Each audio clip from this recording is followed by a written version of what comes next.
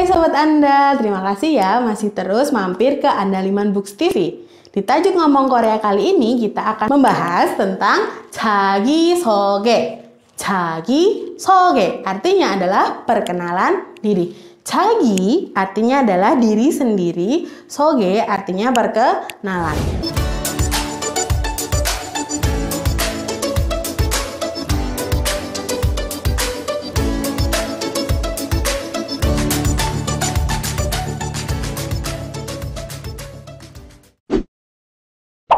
Materi perkenalan diri kali ini disarikan dari kedua buku ini.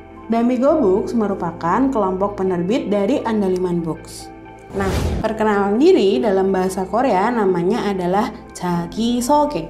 Nah, kita bisa punya dua gambaran di sini ya, perkenalan diri dalam situasi yang formal dan juga dalam situasi yang santai. Keduanya sopan.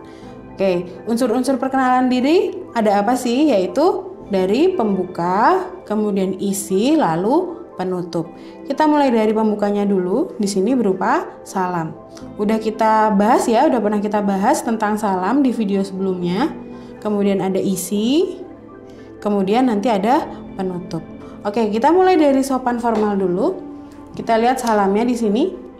Salamnya ada Annyeong Mika. Anyong Hashim Mika. Nah, biasanya setelah kita memberi salam itu, kita akan menundukkan badan 90 derajat. Karena ini perkenalan diri ya, jadi membungkukkan badan sekitar 90 derajat. Kemudian, biasanya isi dalam perkenalan diri itu ada nama, umur, asal gitu ya. Nah, di sini ada nama, kelihatan ya, yang warna biru nama. Nah, bagaimana cara kita memperkenalkan nama? Itu dengan cara seperti ini. Jonen nama imnida. Jonen ini artinya adalah saya. Imnida bisa kita setarakan dengan adalah. Saya adalah nama. Contohnya namanya adalah Minsu. Jonen Minsu imnida. Saya adalah Minsu. Oke, kita lanjut ke bagian yang kedua yaitu dengan umur. Oke, umur coba kita baca J nainen umur imnida. J nainen umur imnida. Oke, J nainen. J itu artinya saya tapi sebagai penanda kepemilikan. Nai artinya umur, berarti umur punya saya, umurnya saya, umur saya. Umur saya, imnida tadi apa? Adalah ya, adalah sekian. Nah, untuk tabel umur akan saya berikan berikut ini. Nah, ini dia tabel dari umur yang saya bilang tadi ya. Oke, kita lihat di sini ada umur 1 sampai 100. Oke, coba kita lihat bagian 1 sampai 10 dulu. Nah, ini angka satuannya ya berarti ya. Yaitu angka angka lalu ditambahkan dengan satuan. Satuannya sal. Ya, sal ini artinya tahun, tapi khusus untuk umur. Khusus untuk umur. Kita lihat kalau satu tahun berarti hansal, dua tahun dusal, dan seterusnya 9 tahun ahopsal. Nah, kemudian kalau misalkan kita mau nyebut belasan, angka 1 sampai 9 tadi kita tambahkan dengan angka 10 di depannya yaitu yol. Contohnya angka uh, satu tahun itu hansal. Kalau 11 tahun 10 dan 1 berarti yol hansal. Sama halnya kayak 20, 20 punya angkanya sendiri yaitu semusal. Semusal. Nah, kalau mau nyebut 21, 25, 27, semul tinggal kita tambahkan dengan angka satuan tadi 1 sampai 9. Contohnya 26, semul yososal. Semul yososal. 30, sorensal. Kalau mau 39, soren ahopsal. 40, mahansal. 43, mahansesal. Dan seterusnya. Jadi konsepnya seperti itu ya. Tinggal kita ingat bagian ininya. Lalu nanti kita tambahkan dengan satuan. Nah, ini 50, 60, 70, 80, 90. Swinsal, Yesunsal, Irensal, Yotensal, dan Ahansal. Nah, contoh yang Minsu tadi ya, Minsu Minsu umurnya 20 tahun. Berarti semu sal. 제 나이는 스무 살입니다. Oke, kemudian tadi setelah kita bahas tentang umur, kita lanjutkan bagian asal. Susunannya menjadi chonen, negara, saram, imnida. Artinya apa? Chonen tadi sudah kita bahas di atas. Ya, betul. Saya negara, negara saram, imnida. Imnida apa imnida? Ya, imnida artinya adalah saram orang saya adalah orang negara. Misalkan kayak Minsu tadi orang negara Korea. Berarti 저는 한국 saram입니다. Kalau kita orang Indonesia, berarti bagian negara ini kita ganti dengan Indonesia. 저는 Indonesia saram입니다. Oke, lanjutnya kita ke bagian nah ini tempat tinggal kita saat ini. Jadi di sebuah kota yang sedang kita tinggali saat ini. Atau mungkin kita orang dari negara tertentu dan tinggal di negara lain. Bisa juga kota ini kita ganti dengan negara tersebut. Oke, bagaimana cara bacanya? 제가 고타에 살고 있습니다. 제가 고타에 살고 있습니다. Oke, 제가 itu artinya saya juga, saya. Kotae di kota, e ini artinya adalah di, di kota. Salgo ismnida. Salgo ismnida artinya sedang tinggal. Berarti kalau kita artikan secara keseluruhan, saya sedang tinggal di kota. Contohnya misalkan kita tinggal di kota Jakarta. 제가 자카르타에 살고 있습니다. Atau Minsu tadi ya, dia sedang tinggal di Busan. Oke, 제가 부산에 살고 있습니다. Nah, yang terakhir di sini adalah bagian penutup. Ya, bagian penutupnya adalah 만나서 반갑습니다. 만나서 반갑습니다. Artinya apa? Senang bertemu dengan Anda. Oke, kita baca secara keseluruhan. 안녕하십니까? 저는 민수입니다. 제 나이는 스무 살입니다. 저는 한국 사람입니다. 제가 부산에 살고 있습니다. 만나서 반갑습니다.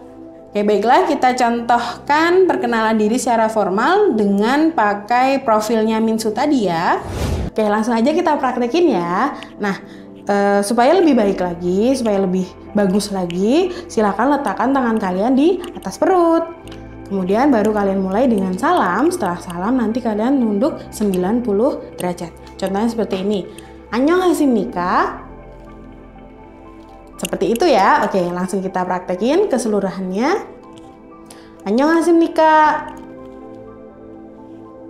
저는 민수입니다. 제 나이는 스무 살입니다. 저는 한국 사람입니다. 저는 부산에서 살고 있습니다. 만나서 반갑습니다.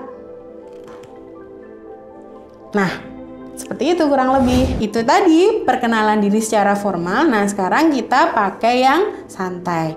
Susunannya sama, yaitu dari salam, nama, umur, negara, kemudian tempat tinggal. Cuman berbedanya coba perhatikan ya, bagian belakangnya ya. Yang ini kada ta ta ta ta, sementara yang ini yo yo yo yo yo. Oke, coba kita lihat salamnya dari Anyong Hasim Nika menjadi Anyong Hasim. Kemudian kita masuk ke bagian nama. Coba perhatikan di sini ada dua ya, ada dua. Iyeyo, kemudian Yeyo. Ini juga Yeyo, Yeyo, dan sementara yang ini juga Iyeyo, Yeyo. Lalu apa bedanya? Bedanya adalah jika nama kalian itu berakhiran dengan konsonan, maka tambahkan dengan yang iyeyo. Jika nama kalian berakhiran vokal, huruf paling akhirnya vokal, maka tambahkan yeyo. Contohnya namanya adalah Sumin. Sumin. Sumin huruf paling akhirnya apa? Ya, min kan berarti kita tambahkan dengan i, e, yo. Contohnya, kemudian yang kedua ada minsu, sumin dan minsu, mungkin kembar. Oke, huruf paling akhirnya apa? U, ya u ditambahkan dengan y, yo. Jadi tergantung dari huruf paling akhir. Ya ini paling akhir konsonan, ini paling akhir vokal. Rumusnya jadi gini, konsonan ditambahkan i, yo, sementara vokal ditambahkan yeyo. Oke, kemudian masuk ke bagian yang umur. Nah, kalau umur ini karena semua satuan umur itu pakai sal, sal ini artinya tahun tapi khusus untuk umur, maka ini kan berakhiran konsonan, maka yang kita pakai adalah i, yeyo. Jadi ini kita buang gitu ya. Oke, coba kita masukkan dulu tadi bagian nama dulu kita pakai minsu aja ya. Chonen, minsu, yeyo. Kemudian jenainen, masih ingat umurnya minsu berapa? 20 berarti semusari yeyo. Oke, kita lanjut ke bagian negara sama ya. Sama tinggal Korea, lalu saram. Nah, yang terakhirnya aja yang kita ganti yang berbeda. Karena di sini ada saram, kan konsonan ya berarti yang kita pakai yang ieyo-nya yang ini kita nggak pakai berarti menjadi 저는 한국 사람이에요 저는 한국 사람이에요 masuk ke bagian tempat tinggal nah karena tempat tinggal bentuknya udah seperti ini nggak perlu milih ya pakai iyeyo yeyo jadi kita langsung masukkan aja oke jika kotanya mana tadi Minsu Busan 제가 부산에 살고 있어요. Kemudian bagian yang terakhir bagian penutup ya di sini tadi 만나서 반갑습니다. Nah, kalau yang ini bedanya 만나서 반가워요. 반갑습니다 dan 만나서 반가워요. Oke, langsung aja coba kita praktekkan uh, perkenalan diri yang santai ini dengan profilnya Minsu lagi ya. Oke, kita sekarang masuk ke latihan untuk bentuk perkenalan diri yang sopan tapi santai. Seperti tadi, tangan di atas perut, lalu salam dulu, baru nunduk 90 derajat. Oke, seperti ini. Kita mulai aja. 안녕하세요. 저는 민수예요. 제 나이는 20살이에요. 저는 한국 사람이에요. 제가 부산에 살고 있어요. 만나서 bangawayo. Nah, itu tadi pembahasan kita tentang jagi soge. Jangan lupa terus berlatih ya. Agar belajar kita itu lebih efektif, kita perlu referensi yang berkualitas. Jangan khawatir, Andaliman Books punya banyak rekomendasi referensi yang berkualitas. Cek infonya di akhir video ya. Kami tunggu ya saran dan kritiknya di kolom komentar. Jangan lupa juga untuk like, share, dan subscribe. Juga klik tombol loncengnya. Terima kasih, sampai jumpa di video selanjutnya. Kamsahamnida.